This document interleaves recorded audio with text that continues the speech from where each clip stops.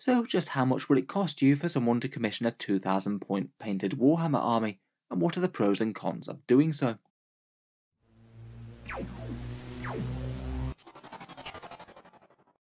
Hello and welcome back to Auspex Tactics, where today we're going to be talking about the tactics of getting lots of models on the table as quick as possible, with a few thoughts about the world of commission painting, the pros and cons of employing a painter to get your miniatures on the table faster, how the procedure might realistically work, and how much you might expect to pay for something like a 2000 point Warhammer army.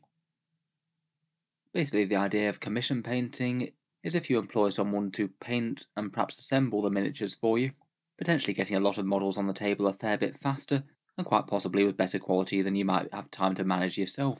It's certainly not for everyone, but it's an interesting little industry around Warhammer and miniature games in general.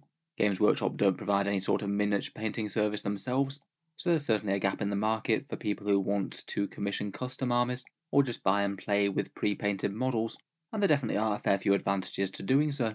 Obviously, it's very much not for everyone, the main disadvantage being plenty of money, as we'll get to, but there might be a few other reasons that might turn people off as well. Here are perhaps some of the main reasons why people might choose to use commission painters, and the biggest and most obvious one is the whole equation of time versus money. I think it's quite a rare thing for people in life in general to truly consider that they have enough free time to get all the hobbying done that they'd want to.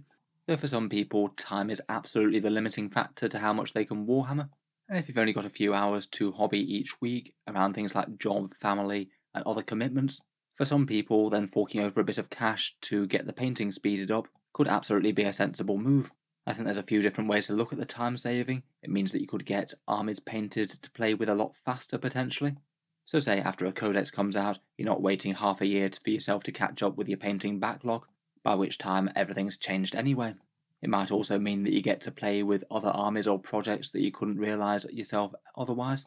Say if you had a fair bit of disposable income, you really wanted to jump into, say, Eldar when all their new models dropped, but you can't really justify the amount of hobby time as you've already got a big project going on. It could allow you to play with another army and have multiple different options on game night, maybe. Otherwise, plenty of people might go to them seeking better quality or nicer looking miniatures than they could make themselves. Most of the people who run these commission studios tend to be very talented painters. Often, what some of these people could achieve in an hour might be significantly better than you could manage in twice that, though obviously that does depend on your own personal skill level. I think some people are attracted to commission painters just to have a really snazzy army that they can play with on the table, or often individual squads or units painted up as display pieces so they can have something absolutely gorgeous sitting on the shelf. Another motivation is for the people who just don't really enjoy the painting side of the hobby. I think the vast majority of people basically accept that the hobby is usually a balance between lore, painting, and gaming, and within that, there are going to be those people who just really enjoy either the lore or the game or both, and just see the painting and modelling side as a bit of a chore, perhaps appreciating the results that others get, but not really seeing it as something that they want to dedicate their time and effort to in something that's supposed to be relaxing. Again, if you do have the disposable income, then that could be a way to circumvent this, and it might be particularly motivational for armies that are a bit more of a grind to paint up. Some people really don't like painting big hordes of things, say a hundred orc boys or something, and there might well be those who just physically struggle to paint, maybe due to having hand tremors, being partially sighted, or another physical disability. Generally, it's going to be weighing up the financial investment against all of these conveniences, and I think that the whole commission painting thing often makes most sense for those really heavily invested in the hobby or having a lot of disposable income.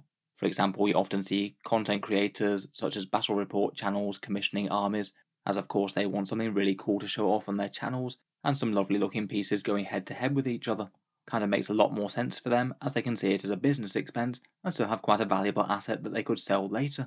It might make a lot of sense for these top pro tournament players as well, who could justify the cost to have more options open to them. If you need to have the options of an army open to you to get the best rules, then it might make sense to outsource the painting to a studio and have it painted and magnetized to a basic tabletop level so you can focus in excelling on the game. Otherwise, even for people maybe slightly less invested, say people who are very high earners outside of the hobby, I can imagine top business people or professionals often having a lot less time than they do money, which might make them some of the most likely to employ these services.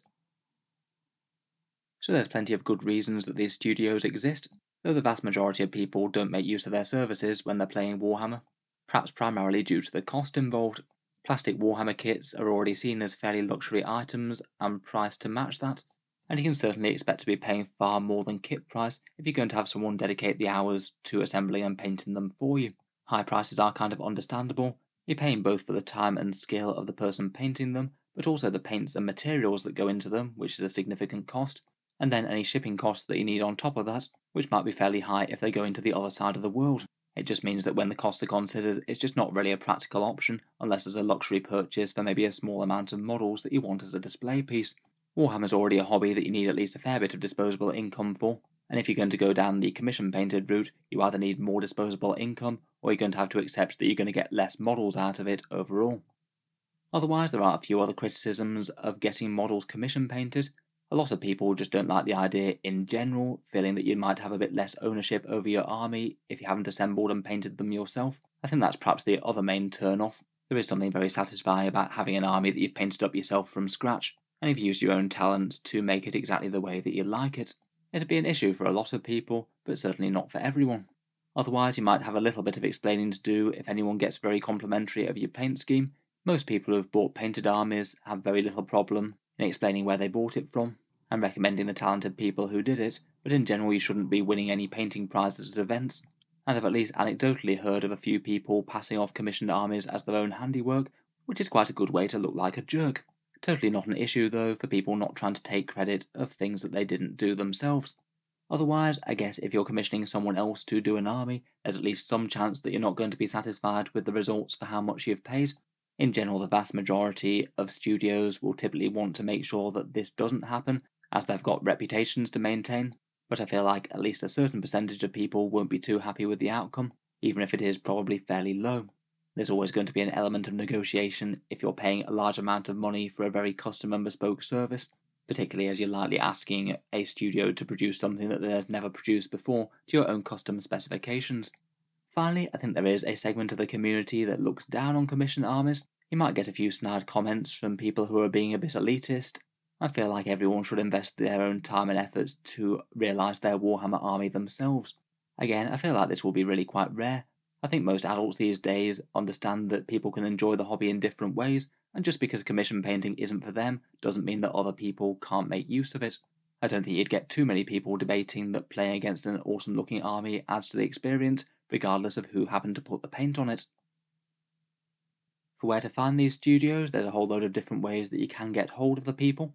Different countries in your local region will have more or fewer options depending on how prevalent Warhammer is there. Places like the USA and UK tend to be pretty well covered, and it does seem fairly commonplace for the bigger studios to ship internationally, though this will likely cost you a fair bit extra in some signed for and very safe postage fees. If it were me, probably the best place to start would just be a simple Google search. Just bung commission Warhammer painters into Google and you should come up with dozens of options, hopefully some at least in your local area. Otherwise, they'll generally have great presence in most social media and a few other commissioned art type sites. Most big studios tend to have a Facebook page. I've noticed Etsy has a fair few options, that they usually tend to be on the cheaper end and people working a bit more ad hoc. I think there's a few options on Fiverr. There's even an r slash brush for hire on Reddit. And as well as these more formal things, often friends or people from hobby stores might offer a little bit of informal commission services. It's not too uncommon to hear people offering to paint their friends' miniatures for them, as much for the enjoyment as anything else. There's probably loads more that I'm missing, so feel free to mention down in the comments. In general, though, I typically want to go for one with a good reputation myself. If you're going to be potentially spending a fair bit of money, I feel like I'd want to go with a bit more of an established operator with a decent amount of word of mouth feedback and reviews on their site.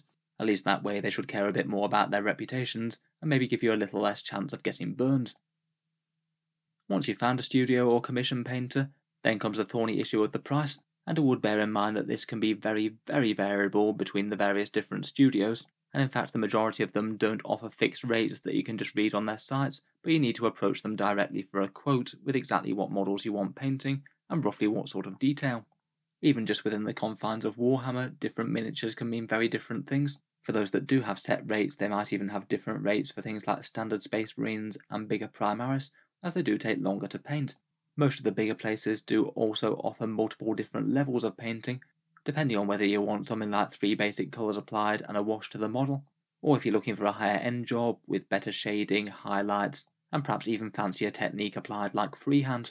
Just to get a rough idea of rates, I looked at a whole bunch of different studios and what sort of things you might expect to pay for a basic tabletop standard, maybe three or four simple colours applied, and maybe some basic details done like dry brushing, airbrushing, or wash effects, things that can add some interesting depth to the model but really don't take much time to do. Just based on a very loose average, smaller infantry such as say Imperial Guardsmen or Tau Fire Warriors might cost £9, 12 US dollars, or 10 euros. Character models with their extra detail and level of care put in might be around three times this price, say £25, $32, 30 euros perhaps. And maybe a standard sized vehicle, something like a Rhino or a Redemptor Dreadnought, that might cost you £45, $55, or 50 euros. That is purely based on some rough estimates though, and would represent a fairly basic paint job. When you start looking beyond basics, again things can really vary a lot from place to place. In general, very few places offer stock prices for higher end stuff, and usually you'll need a quote for that. Just anecdotally, though, I'd expect to add somewhere between 50 and 100% to the prices above, depending on the studio and just how much extra quality they're offering. Finally, at the absolute high end of the spectrum is the display quality model market, say commissioning individual models painted to a Golden Demon standard, the sort of thing that could be credibly entered into painting competitions and expect to do okay. With this sort of market, the sky's kind of the limit. Often people tend to want this sort of quality on slightly bigger miniatures, maybe vehicles or large characters perhaps, and individual models could cost hundreds of pounds or over a thousand. You will be commissioning people that have skills that not a lot of people possess, and they might be putting three or four days' work into just one single model project, so it's really not too surprising that this is going to cost significant amounts. Just sizing this up very roughly, if you did want to, say, get a Space Marine army commissioned, then here's one loose example of a slightly low model count Ultramarines army, a few HQs, a bunch of infantry squads, and five Walker style vehicles. As Space Marines go, it's at least a fairly reasonable competitive choice at the moment, and a lower model count could certainly be an advantage both from buying the models and paying to have them painted up.